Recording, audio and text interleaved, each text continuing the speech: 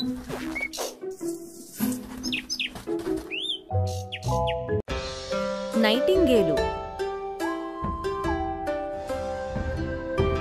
చాలా కాలం క్రితం ఒక చక్రవర్తి ఉండేవాడు. ఆయన పెద్ద కోటలో ఉండేవాడు. ఆ కోట గోడలు బంగారంతో నేల పింగాణీతో చేయబడ్డాయి. తోటలోని చెట్లు వేరెక్కడా పెరిగేవి కావు. చివార్న ఒక చిన్న పిట్ట ఉంటుండేది ఓ నైటింగేలు. ఎంతో చక్కగా పాటలు పాడుతుండేది. కాని చక్రవర్తి తోట ఆ చివరి దాకా ఎన్నడూ వెళ్ళనేలేదు కనుక ఆయనకు దాన్ని గురించి తెలియనే తెలీదు. ఒకసారి తన అతిథులు దాని పాటలను ఎంతగానో మెచ్చుకున్నారు. దాన్ని కనుక్కోమని తన నమ్మిన బంటులను తోటకి పంపించాడు. వారు కనుగొనేసరికి సంవత్సరాలు పట్టింది. కాని వేచి ఉన్నందుకు ఫలం దక్కింది. ఆ పిట్ట పాడడం ఆరంభించింది. చక్రవర్తి కళ్ళు ఆనంద భాష్పాలతో నిండాయి. అతడు పక్షికి బంగారాన్ని బహుమతిగా ఇచ్చాడు. ఎక్కడకు వెళ్ళవద్దన్నాడు. దాన్ని పాట పాడమని మళ్ళీ మళ్ళీ కోరాడు. అది అరిచినప్పుడల్లా ఆయన మనసు పులకరించేది. నైటింగేలు పాటలు వినడానికి వచ్చిన వారికి అలాగే జరిగింది. కాని ఒకరోజు చక్రవర్తి ఒక చక్కని బహుమతి అందుకున్నాడు. ఓ బంగారు నైటింగేలు. ఎంతో చక్కగా పాడే నైటింగేలు. ఆ క్షణంలో ఆ మామూలు నైటింగేలు సంగతే చక్రవర్తి మర్చిపోయాడు. ఆ బంగారు దాన్ని తన పడక పక్కనే ఏర్పాటు చేశాడు. నెలల తరబడి ఆయనకు ప్రజలకు పాటలు పాడి వినిపిస్తూనే ఉన్నది. కాని ఒకరోజు అది పగిలిపోయింది. ఇక అది పాడలేదు. చక్రవర్తికి జబ్బు చేసింది. నైటింగేలు పాట వినాలనుకున్నాడు. మరణం ఆసన్నమైన సమయంలో పాత నల్లని నైటింగేలు వచ్చింది. చక్కగా పాడింది. పాట విని మరణానికి కూడా మనస్సు పులకించింది. వెనక్కి వెళ్ళిపోయింది. చక్రవర్తి మామూలు మనిషి అయ్యాడు. తనను ఉండమని అడగవద్దన్నది ఆ నైటింగేలు. కాని తప్పకుండా తిరిగి వస్తానని హామీ ఇచ్చింది. అన్నట్టే చేసింది. ప్రతి రాత్రి రకరకాల పాటలు పాడుతుండేది.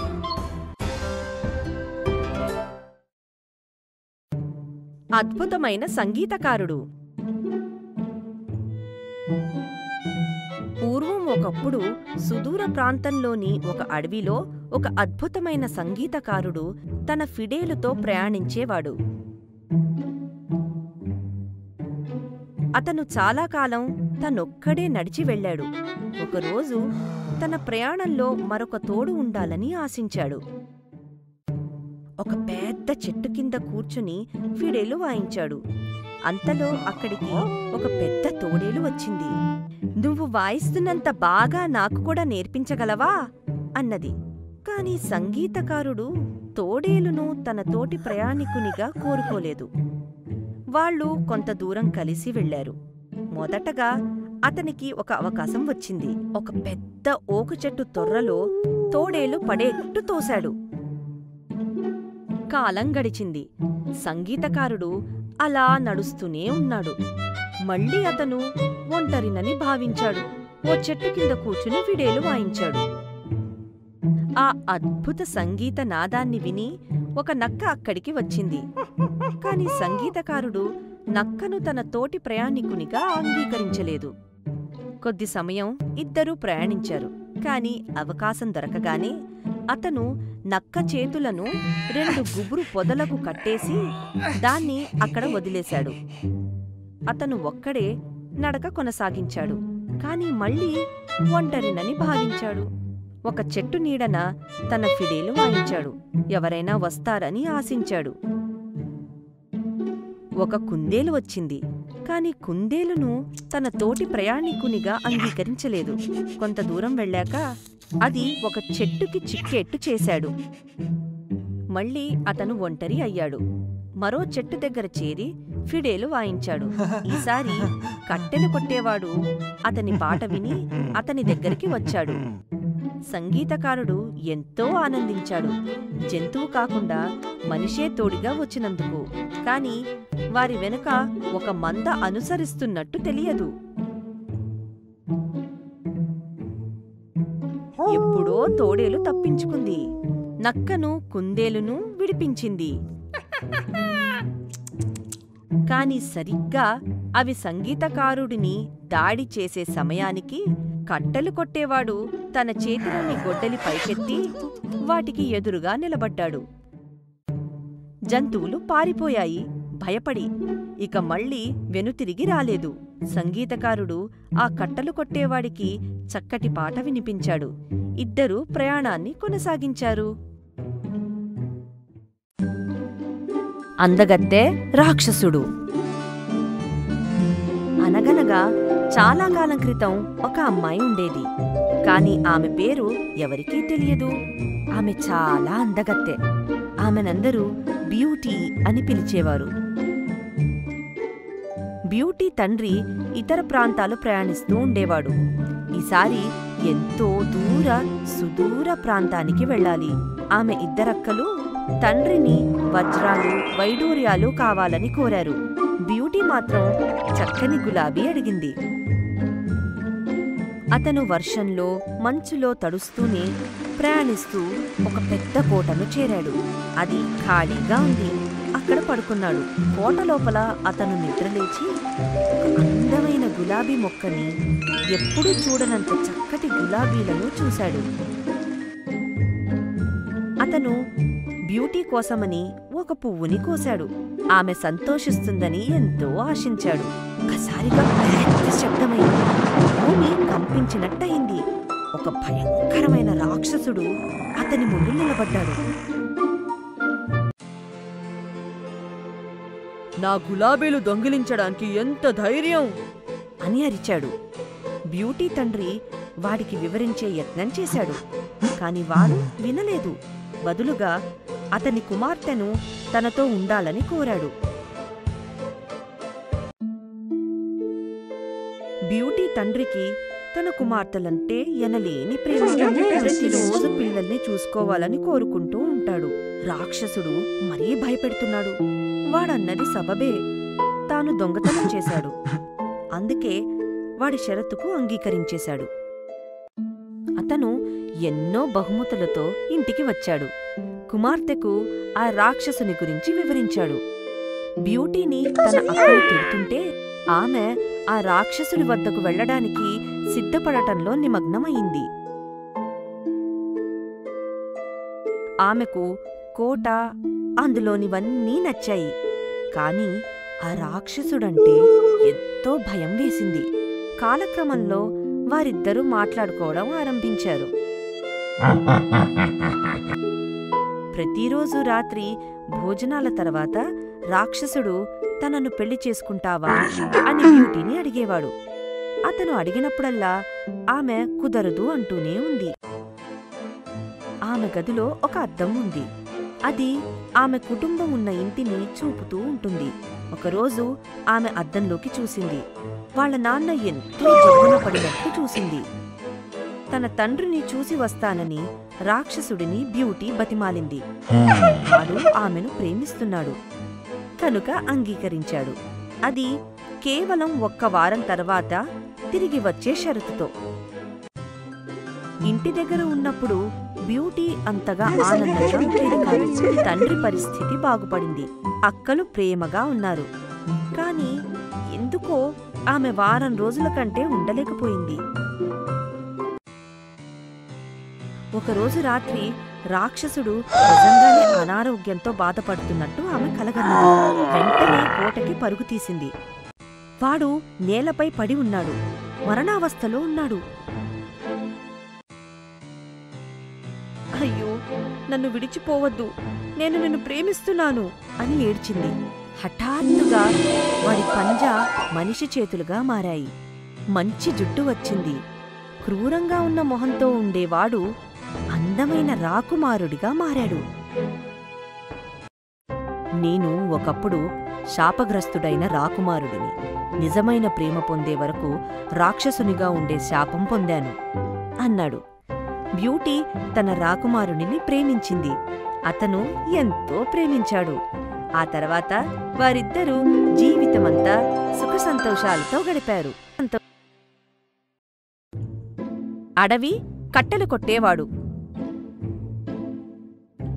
ఒకప్పుడు ఒక కట్టలు కొట్టేవాడుండేవాడు అతని దగ్గర పెద్ద గొడ్డలు ఉండేది. ఒక చివరి నుండి మరో చివరి వరకు అడవులను నరుకుతూ ఉండేవాడు. అతని పదధ్వని వినడంతోనే చెట్లు భయకంపితులయ్యేవి. ఎంత పెద్ద చెట్టు మొదలైనా అతని గొడ్డలి వేటుకి నిలబడలేకపోయేవి. కాని ఒకరోజు చెట్లరాణిని నరికే సమయంలో వాడి గొడ్డలి కొయ్య విరిగిపోయింది. దాన్ని అతికించేవాడి కోసం అతను అంతటా వెతికాడు. కాని ఆ గొడ్డలి పెద్దదాయే. దాన్ని ఎవరూ సరిచేయలేకపోయారు. గొడ్డలి లేకుండా కట్టలు కొట్టేవాడు చెట్లు నరకలేకపోయాడు. దానితో చెట్లు ఎంతో సంతోషించాయి. కట్టెలు కొట్టేవాడు.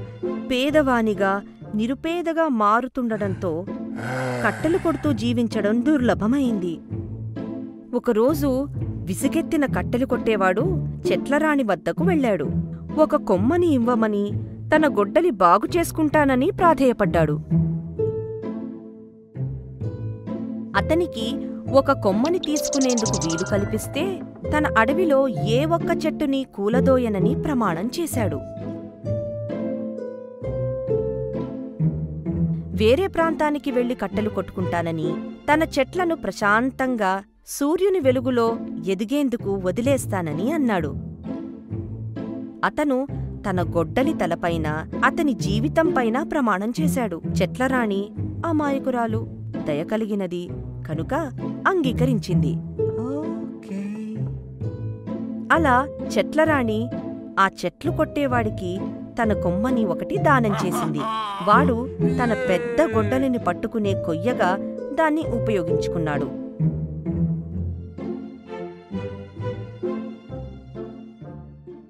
అతని గొడ్డలిని బాగు చేసుకున్న తర్వాత చెట్లరాణిని నరకడం ఆరంభించాడు.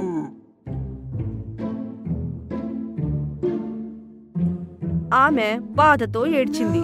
ఇలా అన్నది నువ్వు ప్రమాణం చేశావు. చెట్లను నరకనని ప్రమాణం చేశావు. కాని ఆ చెట్లు కొట్టేవాడు నవ్వాడు. ఇలా అన్నాడు నేను చెట్లు కొట్టేవాడిని. నువ్వు చెట్టువి. చెట్ల రాణిని అలా వాడు నరికి కూలదోసేశాడు మొత్తం అడవిని నరికేశాడు. ఆ తర్వాత ఏ ఒక్క చెట్టు ఆనందంగా బతకలేదు.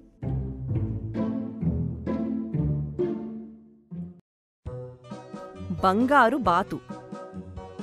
ముగ్గురు అన్నదమ్ముల్లో సింపుల్ టన్ చిన్నవాడు. అంత తెలివిగలవాడు కాదు.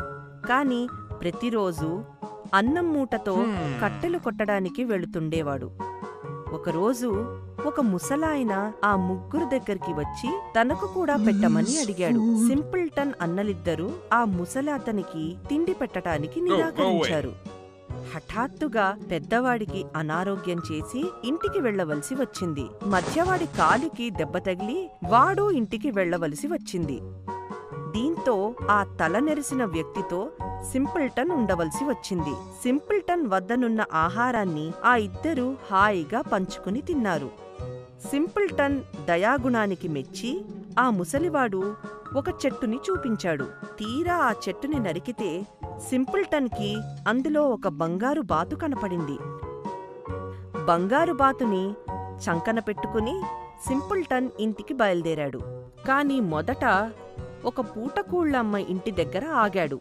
దాని యజమాని కూతురు ఆ బంగారు బాతు బంగారు రెక్క ఒకటి తీసుకోవడానికి ప్రయత్నించింది. ఆమె ఈకను తాకిన క్షణమే ఆమె ఏదో బలమైన జిగురుతో అతికించినట్టు నిలబడిపోయింది. ఆమె చెల్లెలు పరుగున వచ్చింది. ఆమె కూడా అలాగే ఉండిపోయింది. మరో చెల్లెలు బంగారం వదులుకోవడం ఇష్టం లేక వచ్చింది. ఆమె కూడా తన ఇద్దరు అక్కలకు అలా అంటుకుపోయింది.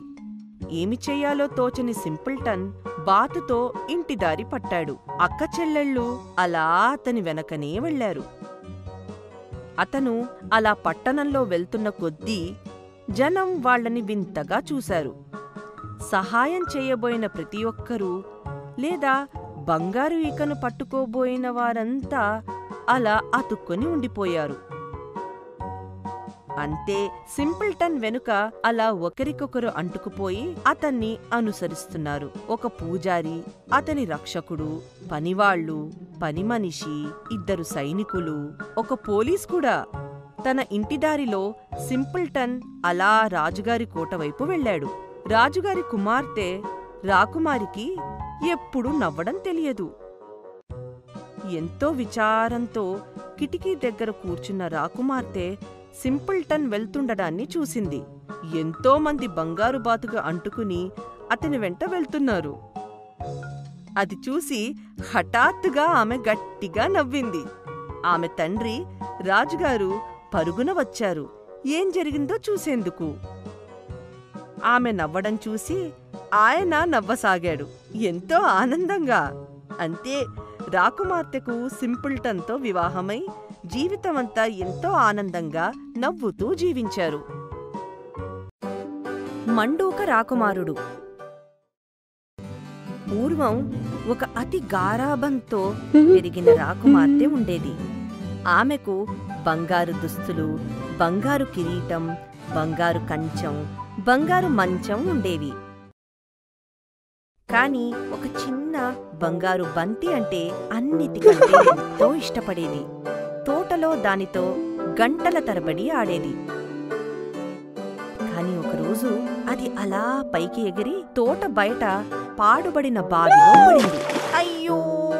అంటూ రాకుమార్తె ఏడుస్తూ బావి దగ్గరికి పరిగెట్టి దాని లోతు చూసింది. ఇప్పుడు ఆమె ఏం చెయ్యాలి?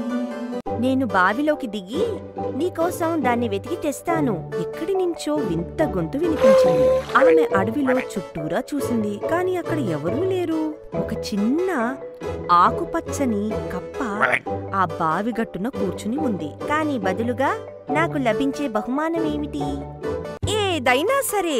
గట్టిగా అరిచింది రాకుమార్తె. తన దుస్తులు వజ్రాలు ముత్యాలను ఇస్తానన్నది. కాని కప్ప దుస్తులు వేసుకోదు వజ్రాలు ముత్యాలు ధరించదు. బదులుగా వేరొకటి అడిగింది. నేను నీతో ఉండాలనుకుంటున్నాను. నీ స్నేహితునిగా.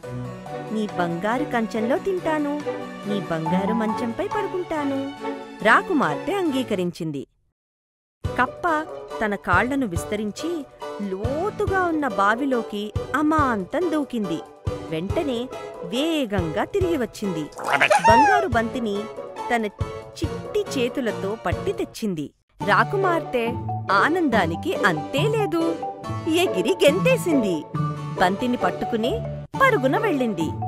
తాను ఇచ్చిన హామీలన్నీ మర్చిపోయింది. రాకుమార్తె ఇంట్లో భోజనాలు ఏర్పాటయ్యాయి. ఆమె తన తండ్రి అక్కలతో పాటు టేబుల్ దగ్గర చేరింది. భోజనం చేయడం ప్రారంభిస్తుండగా ఎవరో మూడు పర్యాయాలు తలుపు కొట్టడం విన్నారు. నేనిక్కడున్నాను రాకుమారి ఎక్కడో విన్న గొంతును ఆమె మళ్ళీ వింది. నేనిక్కడికి వచ్చాను. నువ్వు హామీ ఇచ్చినట్టే నీతో ఉండేందుకు స్నేహం చేయడానికి. రాజు అది విని తన కూతుర్ని కోప్పడ్డాడు. హామీనిస్తే దాన్ని నెరవేర్చాలన్నది ఆయన నమ్ముతాడు ఆమె తలుపు తీసింది. తీయగానే కప్ప కోటలోకి గెంతుతూ వచ్చింది. అది వచ్చి నేరుగా రాకుమార్తె పక్కనే కూర్చున్నది.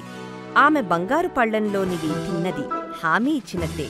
కాని చీకటి పడగానే తన పడక మీదికి తీసుకువెళ్ళమంది. రాకుమార్తె ఇంకా భరించలేకపోయింది. ఒక కప్ప! రాకుమార్తె పక్కలోనా? ఆమె ఎంతో కోపంగా అడిగింది. అంతే. వెంటనే ఆమె ఆ కప్పను పట్టి గోడకేసి కొట్టింది. రెప్ప పాటలో ఆ కప్ప మాయమైంది. రాకుమార్తె కళ్ళు నులుముకుని చూస్తే చక్కని రాకుమారుడు కప్ప స్థానంలో కూర్చుని ఉన్నాడు. నేను ఒక మంత్రగత్తెకి చిక్కాను అంటూ గోడకు తగులుకోవడంతో బొప్పికట్టిన తన తలను రుద్దుకుంటూ తన సంగతి చెప్పాడు. చాలా కాలం క్రితం కప్పగా మారాను. నీ పుణ్యమా అని నువ్వు అందులో నుంచి బయటపడేశావు. ఆ వేసవిలో వారిద్దరూ ప్రేమించుకున్నారు. పెళ్ళి చేసుకున్నారు. అందమైన రాకుమార్తె కోట చేరుకున్నారు. ఇప్పటికీ రాకుమార్తె దగ్గర ఆ బంగారు బంతి ఉంది. కాని ఇప్పుడు వారి పిల్లలు తోటలో ఆ బంతితో ఆడుతున్నారు. వారంతా ఎంతో సంతోషంగా జీవించారు. రాజు పట్ల ఎల్లప్పుడూ ఎంతో కృతజ్ఞతతో మెలిగారు. ఎందుకంటే ఇచ్చిన మాట నిలబెట్టుకోవాలని చెప్పింది ఆయనే కదా. చిన్నారి మత్స్యకన్య అనగనగా ఒకరోజు నీలి సముద్రం లోపల ఒక చిన్నారి మత్స్యకన్య చక్కగా నవ్వుతూ నిద్రలేచింది.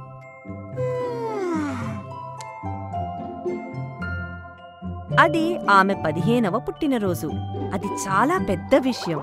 ఎందుకంటే ఆమె తొలిసారిగా సముద్రం నుంచి బయటకు వెళ్ళే అర్హత వచ్చింది. ఆమె వేగంగా వెళ్ళి మొదటిసారిగా గుండెల నిండా గాలి నింపుకుంది. సూర్యుడిని పడవలను ఓ చక్కని మనిషిని చూసింది.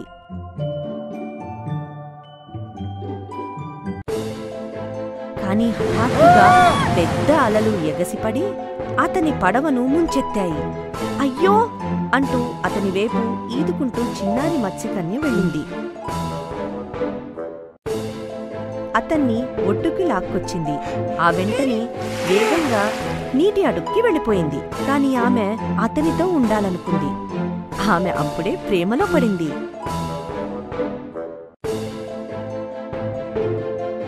అతన్ని గురించే ఆమె ఎప్పుడూ ఆలోచించేది. మళ్ళీ చూడాలనుకుంది. మర్నాడు ఆమె నేరుగా సముద్ర మంత్రగత్తె ఇంటికి వెళ్ళింది. నాకు కాళ్ళనిస్తావా? అని అడిగింది. సముద్ర మంత్రగత్తె నవ్వింది. మంత్రగత్తె ఆమెకు కషాయాన్ని ఇచ్చింది కాని ధర చెప్పలేదు. నీ గొంతుని ఇవ్వు నీ మత్స్యకన్న మనసు ఇవ్వు అన్నదామె. కాని ఆందోళన పడకు. నీవు నీ ప్రియుడిని పెళ్ళాడిన వెంటనే మానవ మనస్సు గొంతు పొందుతావు.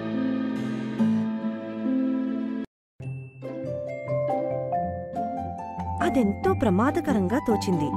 కాని చిన్నారి మత్స్యకన్య పట్టించుకోలేదు. కషాయాన్ని తాగేసింది. మర్నాడు ఉదయమే భూమి మీద నిద్రలేచింది. కాళ్ళు కలిగి ఉంది. ఆమె నెమ్మదిగా నడిచింది. క్రమేపీ డాన్స్ నేర్చుకుంది. ఆ మనిషి ఆమె చక్కని డాన్స్ను చూశాడు. నేరుగా ఆమె వద్దకు వచ్చాడు. వారిద్దరూ డాన్స్ చేస్తుండగా అతను తనను కాపాడిన అమ్మాయిని ప్రేమిస్తున్నానన్నాడు. ఆమె ఆనందంతో అరవాలనుకుంది. అది నేనే! అని. కాని గొంతులేక పలకలేకపోయింది. ఆమె తన ప్రేమికుడికి దూరమైంది. సముద్రం వద్ద కూర్చుని ఏడ్చింది. ఒక సముద్ర నత్త ఆమె వద్దకు వచ్చి సమయం మించిపోలేదు అని ఓదార్చింది. మనిషిని చంపే నీ మనసును తిరిగి పొందుతావు అని మెల్లగా చెప్పింది. కాని చిన్నారి మత్స్యకన్నకు తెలుసు తాను ఎవర్నీ చంపలేనని. నీకు బాధ కలగవచ్చు వేరే దారి లేదు అని చెప్పింది నత్త. కాని నువ్వు కోరుకుంటే గాలిదేవత కుమార్తె కాగలవు అని అంది. ఆమె మాత్రం ఏం చేస్తుంది? దానికి అంగీకరించింది. ఆమెను ఆకాశానికి ఎగిరింది. ఆమె తన ప్రేమికుడిని చూసుకుంటూ అతన్ని సురక్షితంగా ఉంచేది. ఆమె అందులోనే ఆనందాన్ని పొందింది.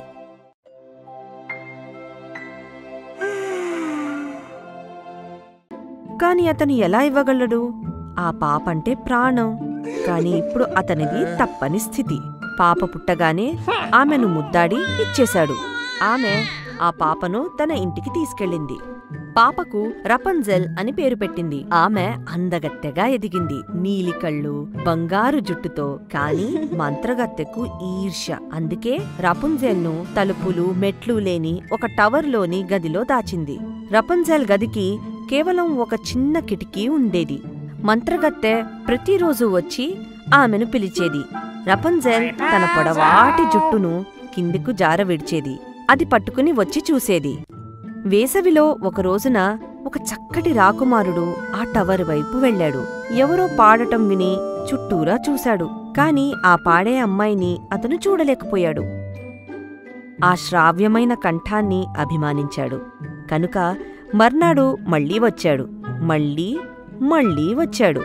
కాని నెల రోజుల తర్వాత అతను చూసింది ఆ యజమానురాలిని. ఆ పొడుగాటి జుట్టుని ఆ సాయంత్రం తిరిగి వచ్చాడు. రపుంజెల్ని పిలిచాడు. అచ్చం ఆమె యజమానురాలు పిలిచినట్టే పిలిచాడు. ఆ బంగారు వన్న జుట్టు పట్టుకుని పైకి ఎక్కాడు. అందమైన అమ్మాయిని చూసి తనకు భార్య కావాలని కోరాడు. రపంజెల్కు యజమానురాలంటే భయం. అందువల్ల రాకుమారుడికి ముద్దిచ్చి వెళ్ళిపోమన్నది. రాకుమారుడు అలానే చేశాడు. కాని మర్నాడు సాయంత్రం కూడా వచ్చాడు. అప్పటినుంచి ప్రతి సాయంత్రం రావడం మొదలుపెట్టాడు. యజమానురాలుకి చాలా కాలం ఈ సంగతి తెలియలేదు. కాని ఒకరోజు అసలు సంగతి కనుక్కున్నది. రపుంజెల్ జుట్టు కత్తిరించింది. అడవులకు పంపించేసింది. తనేమో చిన్న చీకటి గదిలో వేచి ఉంది. ఆ సాయంత్రం టవర్ ఎక్కిన రాకుమారుడికి అక్కడ మంత్రగత్తె కనిపించింది. ఆమె ఎంతో కోపంతో రగిలిపోయింది. నువ్వు ఎన్నటికీ ఆమెను చూడలేవు! అని తిట్టిపోసింది రాకుమారుడు ఆమెను వెతకాలని అనుకున్నాడు. కిటికీలోంచి జారి బయటపడ్డాడు. అంత ఎత్తునుంచి ఢబేలున పడ్డాడు. కాని లేచి బయలుదేరాడు. రాకుమార్తెని వెతకాలి కదా? ఆమె కోసం ఎంతో వెతికాడు. నెలలు సంవత్సరాలు గుడ్డిగా ఒంటరిగా వెతుకుతూనే ఉన్నాడు. ఒకరోజు అతనికి తెలిసిన పాట విన్నాడు. చాలా కాలం క్రితం అతను విన్న పాట అది. ఆ పాట వినపడుతున్న వైపు వెళ్ళాడు. ఆమె ఆశ్చర్యంతో కూడిన కన్నీళ్ళు అతనికి స్వాంతన చేకూర్చాయి. రాకుమారుడు రపంజేల్ వారిద్దరి పిల్లలు ఎంతో సంతోషంగా సుఖశాంతులతో జీవించారు. స్నానం సమయం స్నానం సమయం. స్నానం సమయం స్నానం సమయం. స్నానం చేసే సమయం అయింది స్నానం చెయ్యాలి అంటూ మమ్మీ అరుస్తోంది. బాత్ టబ్ సముద్రం కంటే లోతైనదా? సూర్యుడి కంటే నీళ్ళు వేడిగా ఉంటాయా? పైన వింతగా ఉన్న ఆ బుడగలేమిటి? వాటి కింద ఏ రాక్షసులు దాక్కున్నారు? స్నానం చెయ్యాలని పాపకు అనిపించలేదు. అందుకే ఆమె స్నానానికి వెళ్ళనని అరిచింది. పట్టుకుంటే తోసేసింది. కానీ మమ్మీ ఆమెను గట్టిగా పట్టుకుని స్నానంలో ఆనందాన్ని చూపించింది. నీళ్ళు వెచ్చగా ఉండటంతో బావున్నట్లనిపించింది. మమ్మీ అప్పుడు కొన్ని బుడగలు చేతిలోకి తీసుకుంది. పాప వాటిని తాకింది. అవి గాలిలా ఎంతో తేలికగా ఉన్నాయి. అవి పాప ముఖం మీద గడ్డంలా మారాయి. పాప నెత్తిమీద టోపీగానూ ఉన్నాయి. బుడగలు చెక్కిలిగింతలు పెట్టాయి. అవి పాప ముక్కు మీద చేరగానే పాపకి తుమ్ములు వచ్చాయి. మమ్మీ పాపను ఎంతో నెమ్మదిగా టబ్లోకి దించింది. నీళ్ళు తనను చుట్టుకున్న దుప్పటిలా భావించింది పాప. పాప కాళ్ళను ఆడించింది. అంతే. నీళ్ళలో చిన్న అల పైకి లేచింది. పాప మరింతగా కాళ్ళు ఆడించింది. అప్పుడు మమ్మీ పాప ఒళ్ళును తుడిచే మెత్తటి స్పాంజిని సబ్బుని అందుకుంది. స్పాంజిని సబ్బుతో రుద్దేసరికి అంతా బుడగలమయమైంది. అప్పుడు మమ్మీ దానితో బేబీ ఒళ్ళంతా రుద్దింది. అది పాపకి మరింత చెక్కిలిగింతలు పెట్టింది. పాప నవ్వింది. కిలకిలా నవ్వింది. మమ్మీ పాప జుట్టుకి షాంపూ రాసింది. అంతే. పాప తల అంతటా బుడగలే బుడగలు. ఆ తర్వాతేమిటో పాపకి తెలుసు. మమ్మీ బాత్ టబ్ నుంచి తనను బయటకు తీసి వెచ్చటి టవల్తో చుట్టింది. పాపను టవల్తో తుడిచి తడి లేకుండా చేసింది. పాప ఇప్పుడు ఎంతో పరిశుభ్రం. ఆమె స్నాన సమయాన్ని ఎంతో ఇష్టపడింది. Snow White. ఒకప్పుడు ఒక అమ్మాయి ఉండేది. ఆమె అప్పుడే కురిసిన మంచు కంటే ఎంతో తెల్లగా ఉండేది. ఆమె పేరు స్నో వైట్. ఆమె తండ్రి రాజు తల్లి రాణి. కాని స్నో చిన్నప్పుడే ఆమె తల్లి మరణించింది. అప్పుడు ఆమె తండ్రి మరో రాణిని పెళ్ళి చేసుకున్నాడు. ఆమె అందగత్తే కాని ఎంతో ఈర్ష్య కలిగి ఉండేది.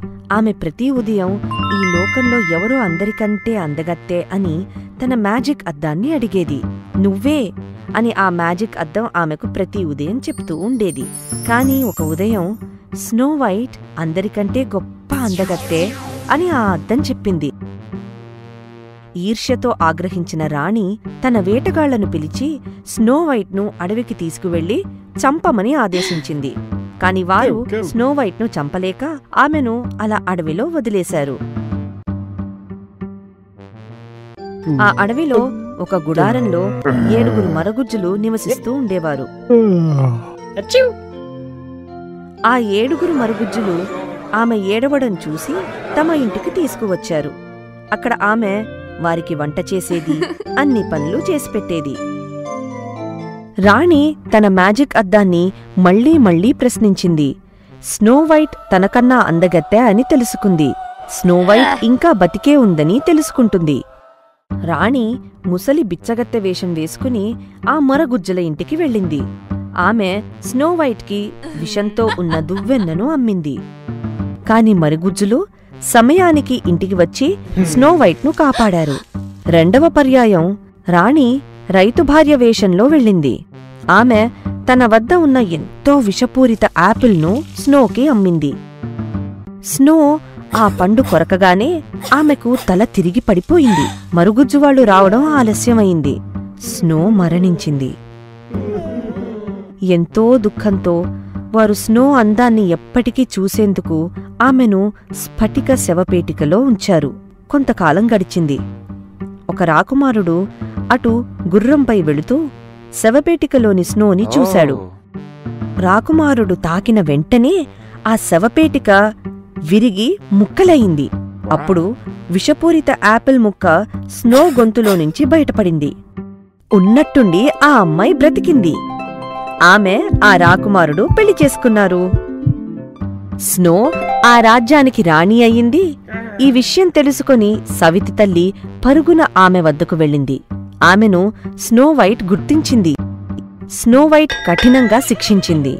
కాళ్ళకు వేడివేడి ఇనుప బూట్లు వేసుకొని డాన్స్ చెయ్యమని ఆ తర్వాత స్నో వైట్ ఎంతో కాలం ఆనందంగా జీవించింది.